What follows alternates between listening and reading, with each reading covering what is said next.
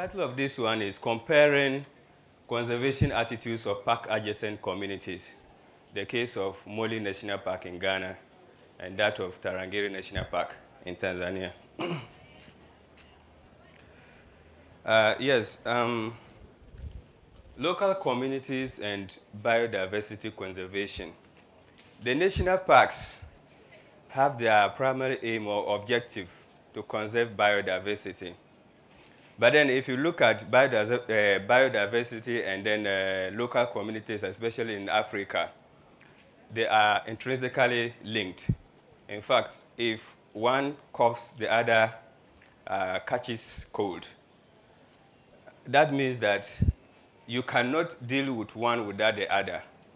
Unfortunately, uh, since the beginning of modern conservation, Africa has adopted just what happened in the West, probably because we have always been sponsored by these people and they try to give to us what we should be doing regarding our conservation. It didn't work.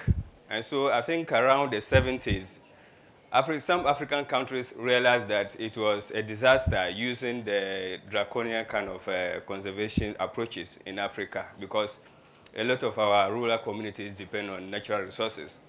And so they decided to adopt uh, community-based natural resource management approaches, starting from in some, uh, starting in some Southern African countries. Of course, we heard of the Campfire projects in uh, uh Zimbabwe, uh, the LIFE project in Namibia, and in Tanzania here, I think it started with the Selous Conservation Project, just to ensure that uh, local communities are included and natural resources management. So after this realization, I think uh, in 1982, in the World Parks Summit in Bali, there was a huge declaration that countries should do their best to ensure that national parks particularly contribute to the development of local communities so that they are able to get the support of these local communities for the national parks. So from 1982, a lot of funding had come to especially African countries, including Tanzania, to make sure that they develop their community-based natural resource management projects. And this has been going on. But then, unfortunately, as we speak today, we still have challenges regarding effective biodiversity conservation in the national parks.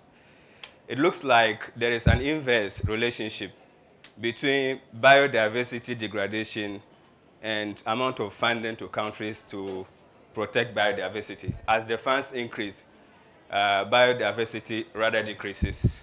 Uh, and this is not the results we want.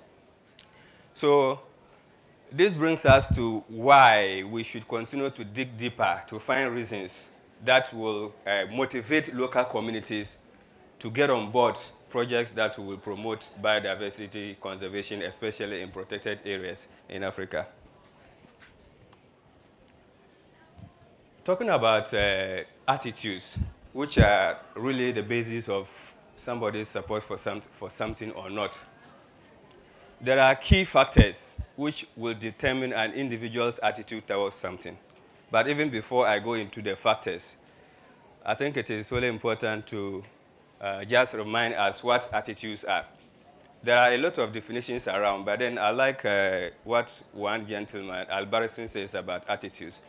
He says that it is a psychological tendency of an individual to evaluate an entity with a degree of favor or disfavor.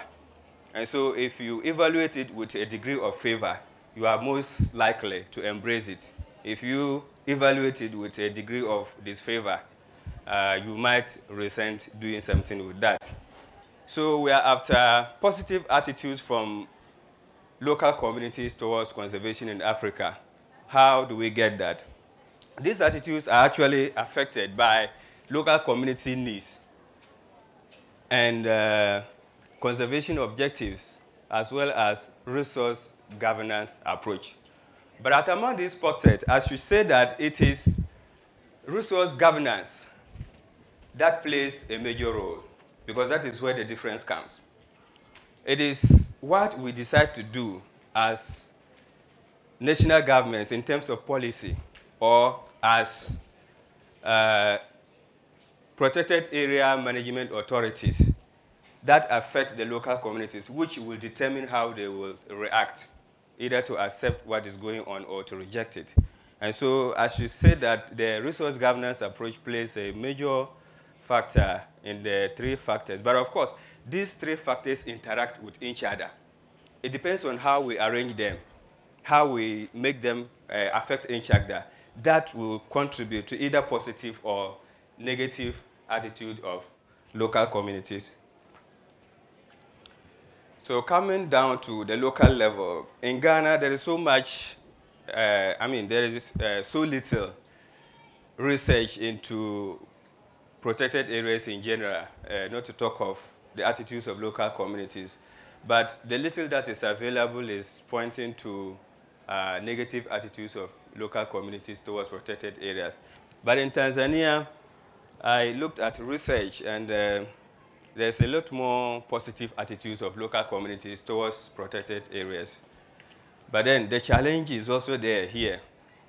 The questions, are, the questions keep coming as to whether the support local communities are getting actually result in their positive attitude and in their support for conservation of uh, natural resources.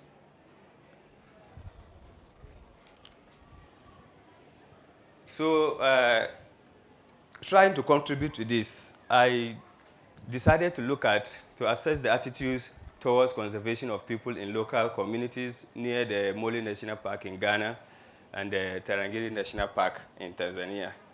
I'm just a, a, student, I cannot do so much, so I decided to just look at two parks in the two countries. And also to determine the effects of uh, demographic factors on adjacent communities uh, towards the two national parks and to compare the attitudes of residents in the communities near the Mole and uh, Tarangire National Parks.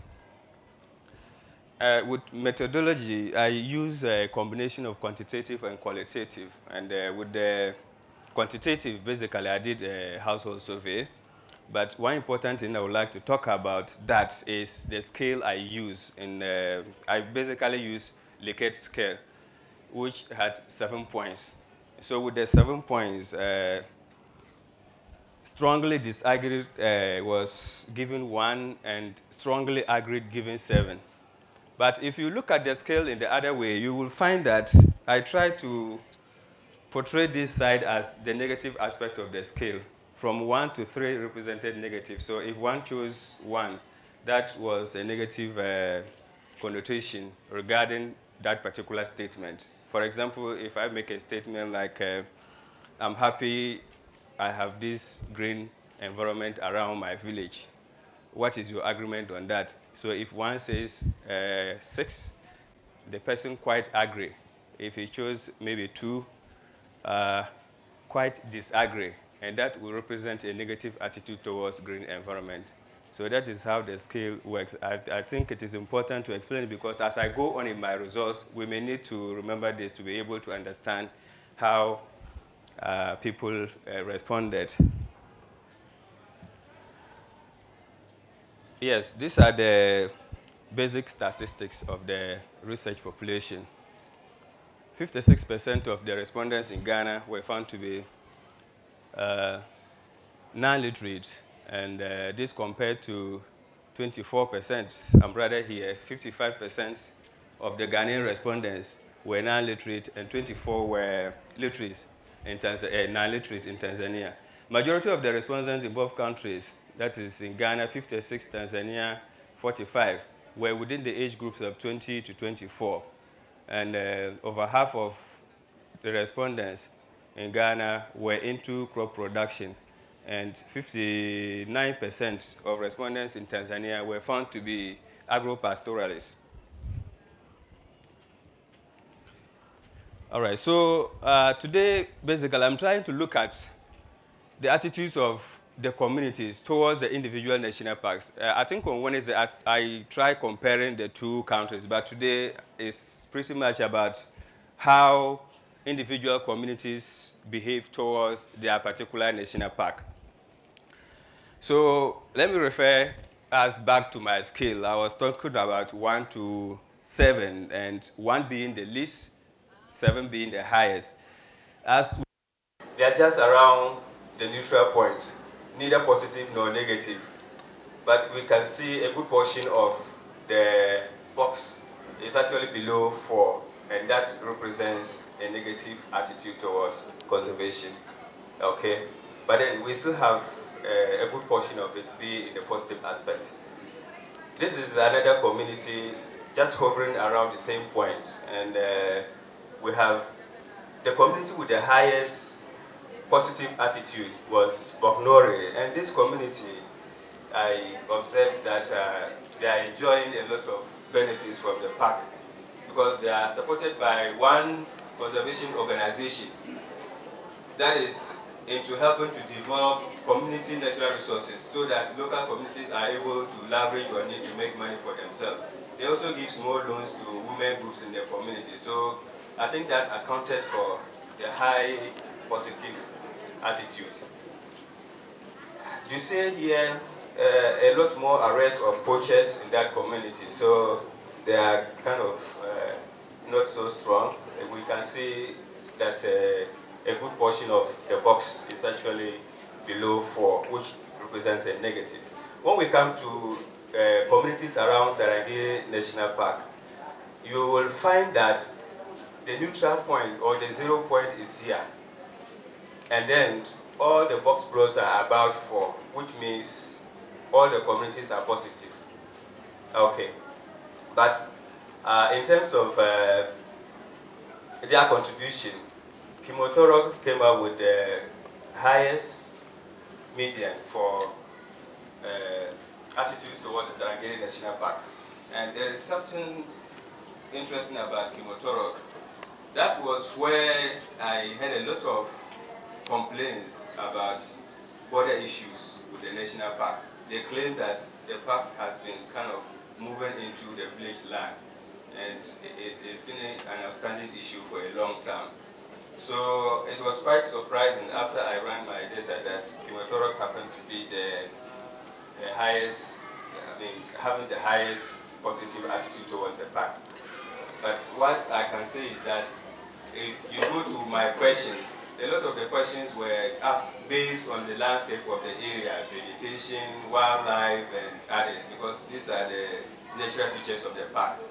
The relationship between the park and community wasn't so much featured. I didn't ask so many questions about that because I was not into uh, those areas. And so that might have accounted. And so if you see that Kimotorok has a high, I mean, attitude, positive attitude towards the park, well, it, it might not mean that they don't have problems. What it means is that they like the landscape of the area.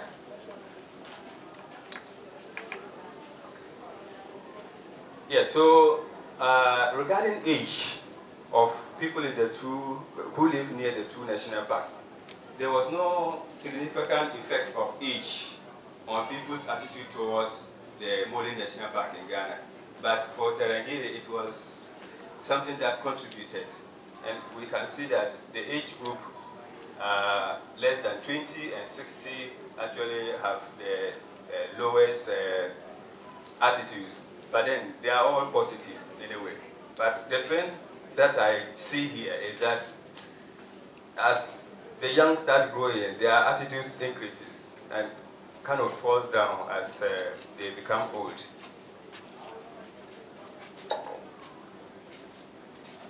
All right, um, relationship between occupation and conservation attitudes towards the, the two national parks. Again, there was no effect on the group in Ghana but there was a positive effect. Uh, I mean, a significant effect on the relationship between the kind of work people do and their attitudes towards the national park. And uh, as we can see here, uh, petty traders had the highest kind of uh, positive attitude, probably because they have very little to do with the natural environment, so they, they don't have complaints about it. So uh, gender education and whether people were affected by wildlife destruction did not actually show any significant effect on their attitude towards conservation. And the one that surprised me was the fact that people who are affected by wildlife destruction, whose animals are killed by wildlife, whose farms are destroyed by wildlife, were not actually uh, showing a negative attitude towards conservation of the two national parks. And 68% of respondents in communities around Mole National Park and 54 of their counterparts around Tarangire National Park indicated they had been victims of wildlife destruction, yet that didn't affect their attitude towards the park there is the need for the two national parks to step up efforts to minimize wildlife destruction because we see these are people who have challenges with wildlife, but they still try to show a positive attitude towards wildlife. And so I think it is a, a low-hanging fruit for the two national parks to use. If they try to help in curbing this problem, probably they will be sailing smoothly with the local communities. So I tried to find out why would you support conservation of either Mole or Tarangire National Park? And I wanted to find out, is it about what people think, uh, the moral aspect of it, or it is about economic gain? So on the side of people around Mole National Park in Ghana, I think it was about economic gain as we can see in the, in the table, and then those in Tarangire, around Tarangire National Park, it was much more about uh, their moral judgment of conservation of natural resources. In conclusion, I'm saying that individual communities around the Mole and Tarangire National Parks must consider must be considered case by case basis because they have peculiar issues in all the communities. And so if we are designing a project to help uh, get the support of these communities, we need to go down and look at the various peculiar problems in the community so that uh, whatever is coming on board can uh, fall in line with people's what people uh, desire. And the livelihood activities of residents in communities around Tarangire National Park need to be considered in any project because this was a, a key factor. There was a significant effect in that. Okay, and um, suggested that regarding the wildlife distractions, there are simple technologies that the parks can help local communities to adopt so that they are able to uh, control these wild animals. There is currently a project known as elephant chili uh, technique. They just use chili pepper powder, uh, soak a material in, in, in, in dirty oil, and then they tie this, they make a, a line or a fence around the farm. And this, you know, the elephant has a very sensitive uh, sense organs and they can easily sense this and go away when they go near farms like that. And this is being practiced around some communities in Tarangire. So this can be replicated in other uh, national parks across uh, the country and also in Ghana. But uh, one challenge when I ask people who try to adopt this is that it's quite expensive for the local people. To fence a one hectare farm costs about 45 USD. So that is something uh, significant for a, a, local farmer. Yeah. And so if the parks help in just providing these funds, it, it will help the communities. All right, thank you very much for listening to me once again, and I welcome your comments. Thank you, thank you very much, Haruna. You, with those comments, can I, yeah, madam? Uh, he said that uh, community needs, conservation objectives, and management approach all affect uh, the attitude that the people would have towards uh, uh, conservation of, uh, of, of, of, biodiversity. Okay. However, he also mentioned that he did not go into the relation, his questions did not center or focus uh, on, at all on the relationship between the people and the park. And I, I, I felt like maybe that's a very critical element because how the park is managed will, will also determine how those people relate to the parks. For example, when you mentioned the, uh, the they are complaining that the park is in, uh, encroaching into their land. So this is uh, maybe the management strategies. How do they interact with management of the park the, the relationship between the communities and the park, I feel is a very important uh, contributor on, on the attitudes that they will have. Okay, so I wanted to know maybe, because if you ask about the landscape, the environment, uh, many people will appreciate a good environment, uh, a nice landscape, the aesthetic beauty and all that. But uh, what about the relationship? What is being done in the park? Does it uh, make them, are they content with the approaches that the park is doing? Is it, how is the relationship between these people and what is being done at the park or at the park management and so on and so forth? So maybe you can tell us maybe why he chose not to, to center on that. Uh, thank you, Professor, and thank you, uh, Haruna, for a very interesting presentation. I also like the, the slides. They are very elaborate and easy to follow.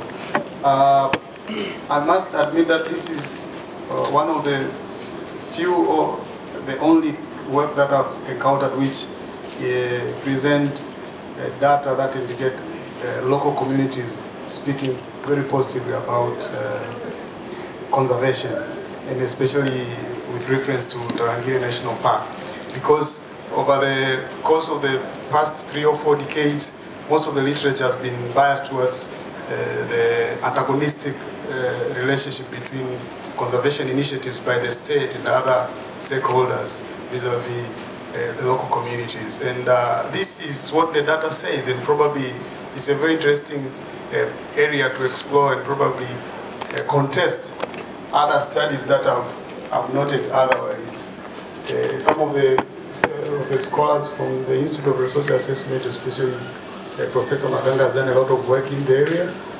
But there are also other uh, scholars that might wish to look their work and probably contest their, their findings, like Fred Nelson, uh, Hassan Sachedina, Katherine Homewood, uh, Jens Friis Lund. And there's a recent PhD that was uh, based in Kimotorok, I think, in some of these other areas, uh, by a guy called uh, uh, Jevgeniy Bluwstein from the University of Copenhagen. They are all pointing to this antagonistic relationship between conservation initiatives and local livelihoods. But this is another extreme, and that is very interesting. It's going to make a compelling uh, read. Thank you. Thanks very much. Yeah, it was a nice presentation by Haruna. It's nice that you mentioned the, the situation of Kimotoro. Mm. Uh, I've been there, we are doing some work with Dr. Noah there, and we really found that problem of the, the boundary mm -hmm. between the the village and the, the, the park. Now, it's, it's, a, as we were saying, it's a bit strange that they are, despite the conflict which has been there for quite a long time, yeah. they are still positive about uh, conservation unlike in other areas that I know, uh, where if uh, there's such a conflict, people tend to be quite negative about uh, conservation. Mm -hmm. Now, since here we have a, a good number of uh, master students, uh, there you can see an opening mm. for your study. that how comes that there's such a conflict for a long time, and yet they are still very positive uh, towards conservation. It's an opening to think about for your master students. Thank you very much. Thank you. Thank you. Thank you, Dr. Mansas. Thank you very much uh, for those comments. uh, uh, my colleague student, my good friend, yes, uh, the communities, like I said, do have their own needs, okay? And uh, in most cases, they are the pressing needs because we are talking about survival. If you come out with any concept to achieve anything, I think a man will only be ready to listen to you after his survival needs are satisfied. We are talking about food and maybe shelter. So in some of the communities, in fact, in most of the communities, these survival issues are seriously affected by the projects we have around them. And so uh, what I did was that I did not want to go straight into looking at community park relationship per se, but then I broadened my horizon in terms of the questions I ask. I just try to segregate the emotional issues because like uh, Dr. Adisenjo said, we have heard a lot about this uh, bickering and, uh, I mean, strife between communities and protected areas. So I didn't want to fall in that line. So I thought about my line of questioning. Why not segregate the landscape? Okay? Because when we're talking of protected areas, these are natural landscapes. Okay, but it is just the institution of protection, what we put in place as an institution to protect this area, that usually, and like I said in my slides, the resource governance approach is usually where the problems come from. Because these are the people who have lived with these communities years before. Whether they were, the argument has been that, well, especially in Tarangire, they were not here before the park was created. It was empty, nobody was staying there. But then people were using it. Okay, we have our offices and we have our rooms where we sleep. And so if you come here at uh, maybe 10 o'clock in the night and there's nobody, it doesn't mean this block is useless. It means that people have gone home and tomorrow they will come. So if those lands were there at the time of uh, institution of the parks and there were no people, it didn't mean that people were not using it. People were depending on it for their uh, livelihood, for their livelihood. So the issue is that I didn't want to revisit those issues. So my line of questioning was, I, I, I kind of uh, broken it into parts. I looked at the landscape issues, wildlife, vegetation. What is people's attitude towards it? Is it that they don't like conservation? Because that is, uh, as you seem to say, the misconception. The local communities are against or they are destroying the natural environment. So let's keep them away. That is not the issue.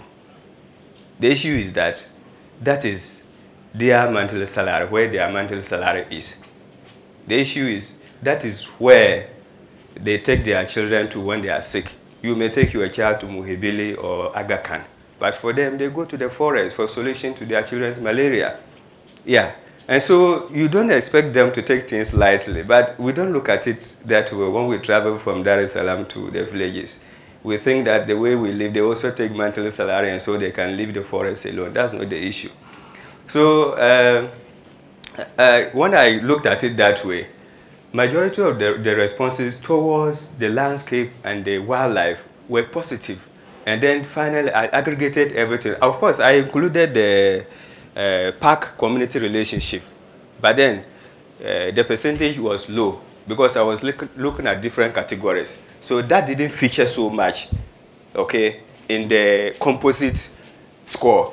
So that has led to this, even though you find that uh, the, the, the, the, attitude is positive. The positive is actually pointing to the people's love for their landscape and not their relationship with park communities. But then uh, if you were here on, on, on Wednesday, you would have uh, realized that uh, I I talked about into detail about some of these community relations. In some other objectives, this is just one objective for my study. In some other objectives, I delve deep into the park community relationship. Okay.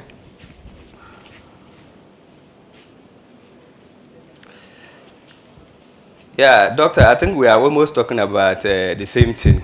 Why high positive attitude, but then we know of the problems around I think uh, it's basically the same thing. That's why I explained that point longer. Uh, the way is about the way I structured my questions. I didn't want to be, I mean, uh, kind of biased or just follow what is already known. We already know that there are problems. And so my main concern was, are there, are is it a fact that the local community do not embrace conservation?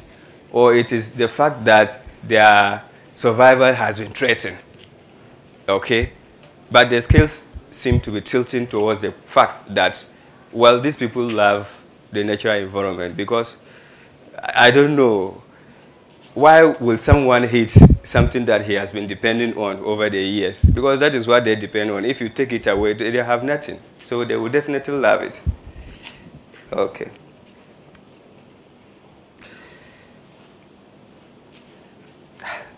I think it boils down to the same thing. Dr. Masasu's question too is, is almost the same thing. Why high positive attitude even though we have the problems? And particularly with Kimotorok, it's quite uh, a serious issue, but I don't know why. I think recently, though I cannot read Kiswahili, I saw uh, a headline news, a headline on one of the local news uh, papers, uh, and I saw the name Kimotorok, so I decided to give it to show it to my colleagues who do read Swahili, and they told me that uh, people were reporting problems to the district commissioner about Tarangire National Park coming into their village land. So and I, they gave me the same issues when I went there. They talked about the same thing, the park encroaching on their lands. But the park says, no, we have, we have our beacons, we know where our boundaries end, and so what you are talking about has no substance. So these issues are there. And in fact, if you are talking about the relationship, they are bitter. Okay, if I were to show some of my findings regarding direct questions regarding park community relationship, they are totally negative against, against them.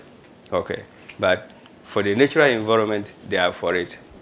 Okay, thank you very much.